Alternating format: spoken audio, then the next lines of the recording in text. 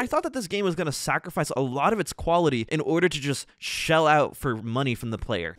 What's going on, internet? Hope your day is going well. And today, I ventured into the world of Hoyoverse to find if this is finally the Hoyoverse game that can convince me that I truly can like Hoyoverse games. That's right, today's video is Zenless Zone Zero, and I am super excited to have the opportunity to test it. I've been eyeballing this game for roughly two years now since I first heard about it, and I was waiting patiently for the day that I had the opportunity to finally get to play this game. Because admittedly, I have sold off every single Hoyoverse game that has ever come before, and for reasons that probably were not fully justified because I'd never even given them a fair chance, to be completely honest. I had tried Genshin, and I probably got only an hour into it, and to be completely honest, Honkai Star Rail kind of came out of left field, and I did not know it existed for the longest time. And so when I saw this game being revealed in its trailers, I was like, this looks amazing. And so I wanted to be able to try it to be able to see if I can truly enjoy one of the games that they make. So, will I be able to fully say that I like this game by the end of this video? Guess we'll find out. If you like this video and you want to stay notified on all the other videos that we make on this channel, be sure to click that subscribe button so that way you can stay up to date on every single upload that goes live. Now with the video, let's talk about the story and the premise of this game first. Zenless Zone Zero looks to be a game that takes place in this near future high-tech-esque era where our main protagonist of the game is Phaethon. They are one of two siblings that you have the option to choose from, either the male or female option, and they are considered a proxy. Proxies are individuals that guide people through what they call the Hollow. The Hollows are these supernatural dimensions that appear seemingly out of thin air, containing enemies known as ethereals. This became so widespread that most of civilization ended up getting destroyed by it, except for the main city in which the game takes place, known as New Eridu, which they have managed to learn how to extract resources from out of the Hollow in order to benefit off of the disaster.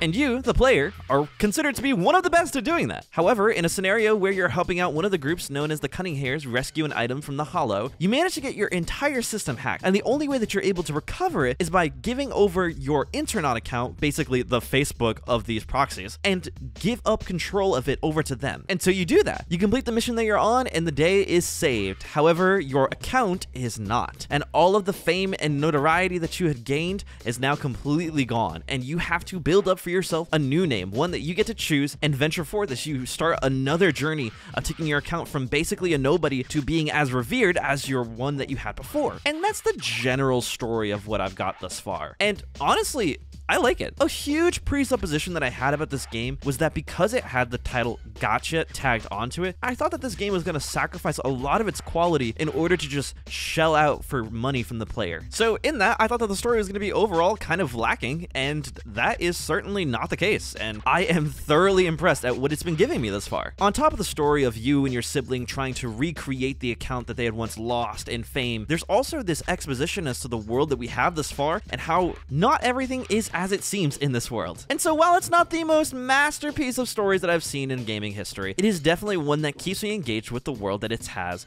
and I love it, and I'm interested to see how it plays out. But speaking of playing, let's talk about the incredibly flashy gameplay. I would describe this game at its core as an action RPG that also has a little bit of what I would want to call puzzle navigating. For 90% of the gameplay, you're playing as what the game calls agents, individuals with diverse skill sets, where every single character has an elemental affinity that they had, whether it just be fire, ice, shock, ether, or just straight up raw damage. And then at the same time, you have classes that the characters slot into, and so you'll make your way into the hollow, fight a couple of bad guys, get what you need to do, and get out. But it must be said again, this game's combat is so flashy. On the surface, it can be very easy for this game to feel like a button masher, where you're just really spamming one or two real buttons the entirety of the game. But there's actually a surprising level of depth when it comes to the combat and utilizing your character's party compositions wisely, utilizing your dodge timing and your assist timings properly to be able to get the most out of your damage. This is a game where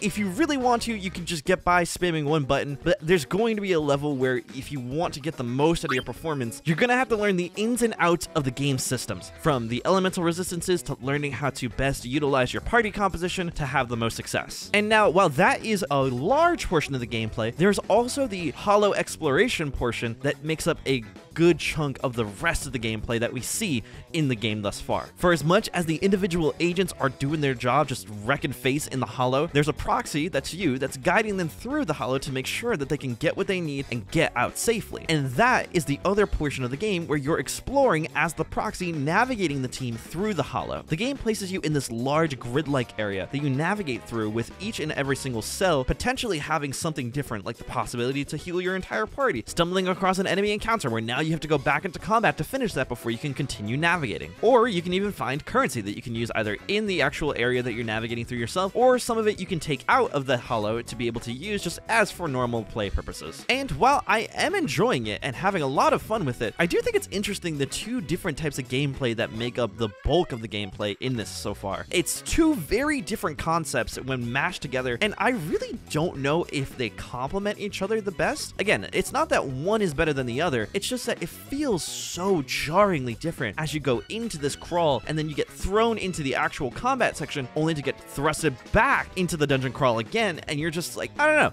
maybe. I will say, for as bad as I am in some of those exploration phases, I do appreciate some of the puzzles that they have because admittedly, I am really bad at puzzles, and so any puzzle of substantial difficulty will be a significant challenge for me to solve, and so I enjoy having that level of challenge. So overall, I do really, really like the gameplay that's going on in here. Albeit, I kind of question the exploration phases a little bit, but it's growing on me slowly but surely. I'm sure as time goes on, my opinion is going to lean more positive spinning, but right now I'm just kind of waiting and seeing how it overall works out in the full release of the game. Overall, not bad, but it's something that I'm just like, I'm waiting to see how it pans out in the full release. And last but certainly not least, let's talk about the agents that we can get in the game. Honestly, this was the part that I was kind of not sure what to expect with this. Again, I had the presupposition of it being a gacha game, and so immediately I was being braced for, okay, is it going to ask for my money immediately despite the fact that it was a beta? And fortunately, it has not asked for a single dime from me yet, and so I'm sure that that could possibly change once the game fully releases, but as of right now, this is just the agents of the game and how they give them to you in its pure form without having to spend any money on it thus far. And honestly, I love everything about it. From the character design and how they look to the weapons that they use and their stats and the in-depth differences between each and every single agent and how they play with other agents, it's really cool to see the level of detail and care into them. And despite not playing any other previous Hoyoverse games, I really, really enjoy the designs that I'm seeing this far in the game. I had this negative stigma as to the quality of the characters because of this gacha style that I know is coming, but fortunately, overall, I did not see a single character that I did not enjoy or at least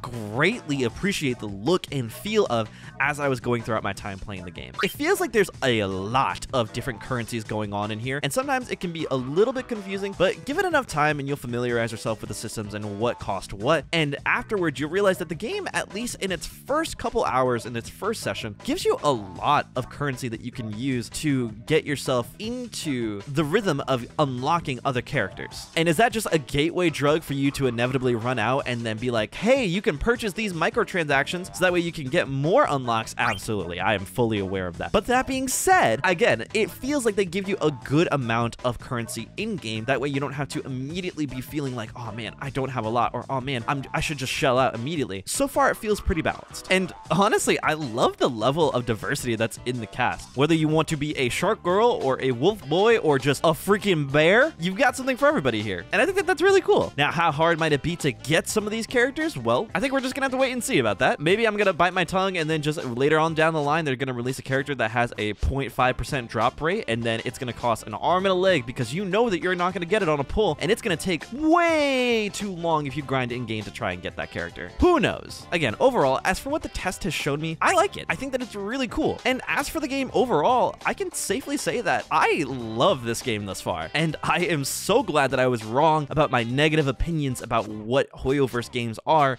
and the level of quality that they can be. Now, does that mean that I like gacha mechanics? No. At least I can get this negative stigma out of my head that even though these games have gacha mechanics that are designed to just pull from your wallet, that it doesn't take away from the overall quality of the product, but the game is still fun to play, and that overall, from start to finish, you can have a good experience without really putting in that much money. Again, could it change and could there be mechanics that come out when the full game releases that might change my opinion on it? Potentially. But that being said, as for what the game is at a base level, in its story, in its presentation, in its gameplay, I enjoy it. And that is what matters right now, is that the level of love that exists in just what is Zenless Zone Zero it's one that I can enjoy. But what about you? What do you think about the game? What has your experience been if you've been able to get into the test? Leave a comment down below and let me know what you've been most looking forward to about this game, and if you've been enjoying it or not. I've been putting a lot of time into this game, and so there might be another video to come, but we'll just have to wait and see. But until then, I'll catch you guys in the next video. All right, take care. See ya.